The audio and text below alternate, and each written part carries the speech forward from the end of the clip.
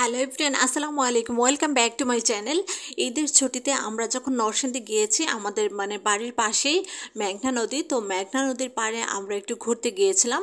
আর ঘুরতে গিয়ে এই জায়গাটা এত সুন্দর মানে সব সময় আমরা যাই। আর ছোটোবেলা থেকে আমাদের এই মেঘনা নদীর পাড়ে যাওয়া বা পাড়ের নদীর ওই পাড়ে যাওয়া, সেটা কিন্তু প্রচুর যাওয়া হয়। কারণ আমার দাদা, নানা, তারপর ফুপি, আমাদের বলা যায় মানে আমাদের পূর্বপুরুষ যারা আছে সবাই কিন্তু এই যে নদীটার ওই পার যেই অঞ্চলটা আছে সেই ওই পারের।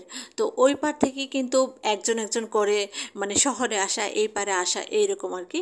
তো এই তো তো নদীর পাড়ে এই পাড়টাতে আমাদের বাসা যেহেতু এই এ, তো আমরা কিন্তু এদিকে অনেক ঘুরতে আসি আর ওই দিকেও যাওয়া হয়। আর এইখানে নদীর পাড়ে এখন যেটা হয়েছে মানে পাকা রাস্তা হয়েছে পাড়গুলো বাধাই করা হয়েছে তারপরে এখানে আবার অনেক চেয়ার আছে খাওয়া দাওয়ার ব্যবস্থা আছে, তো বাচ্চারা এগুলো খুব পছন্দ করে আর আমার কাছে তো স্পেশালি অনেক বেশি ভালো লাগে। তো এই তো আর কি আজা বেবি পাশে চেয়ার ছিল, সেই চেয়ারে বসিয়ে দিয়েছিলাম আর আজা বেবি রিল্যাক্স মোডে মুড়ি খাচ্ছিল। এখানে যে ঝালমুড়ি বানানো হচ্ছে মানে প্রচুর দোকানপাট আছে এই নদীর পাড়ে, অনেক দোকান আছে, তো সব কিছু তো আর ভিডিও করা হয়নি। তো এই তো আমরা এখানে বসেছিলাম, এখানে দাঁড়িয়েছিলাম। তো এই যে ঝালমুড়ি বানাচ্ছে আর এই ঝালমুড়ি আজও বেবি চেয়ারে বসে বসে খুব রিল্যাক্স মোডে খাচ্ছিল। তো এই জায়গাটা অনেক বেশি ভালো লাগে আমার কাছে। অনেক কিছু খাবারের আইটেম আছে।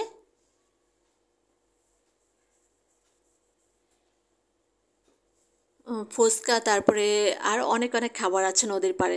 তো যেটা হয়েছে নদীর নদীতে আমাদের ঘুরতেও যাওয়া হয় বাট এইবার যাওয়া হয়নি। কারণ হচ্ছে নদীটা কিন্তু পানি প্রচুর তারপরে হচ্ছে যে বাতাস ছিল অনেক। সেই জন্য বাচ্চা কাচ্চা নিয়ে আর ভয়ে আমরা মানে নদীতে যাওয়া হয়নি আর কি আমাদের।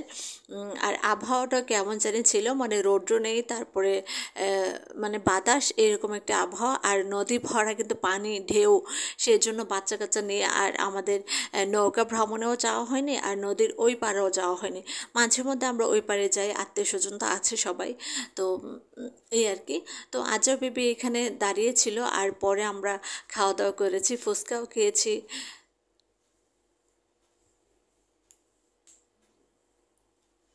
এই যে এক থালা ঝাল ঝালমুড়ি, এখানে হচ্ছে পঞ্চাশ টাকার ঝালমুড়ি প্লেটে দিয়েছে আর কি। তো নদীর পাড়ে বসে বসে এত সুন্দর ঠান্ডা বাতাস, এই বাতাসে বসে বসে কিন্তু মুড়ি খেতে ভীষণ ভালো লেগেছে, অনেক বেশি ভালো লেগেছে ঝালমুড়ি খেতে। আর বাচ্চারা খুবই পছন্দ করে এদিকের ঘোরাঘুরি। তবে এই যে এখানে অনেক খাওয়া দাওয়া আছে। তবে যারা মানে একটু নড়াচড়া করে বেশি, একটু চঞ্চল প্রকৃতির বাচ্চা, ওদেরকে এইখানে নিয়ে আসা কিন্তু খুব রিস্ক। কারণ পারে কিন্তু এই যে পারে কিন্তু একটু কাত হলে কিন্তু পড়ে যাবে।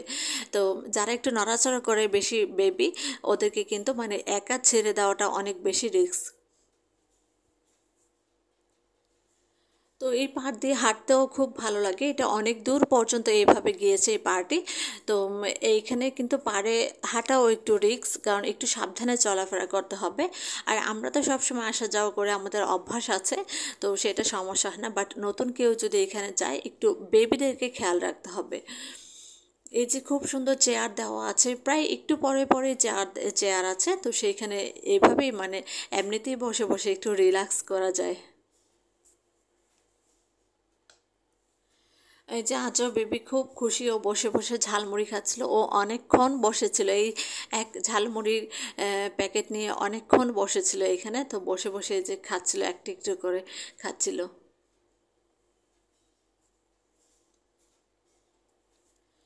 তো এই জায়গাটি আমার অনেক বেশি পছন্দ। এটা আমাদের নরসিংদীর মেঘনা নদীর পার মেঘনা নদীর পার থানাঘাট বলা যায়। অনেক কিছু অনেকে অনেকে নাম বলে।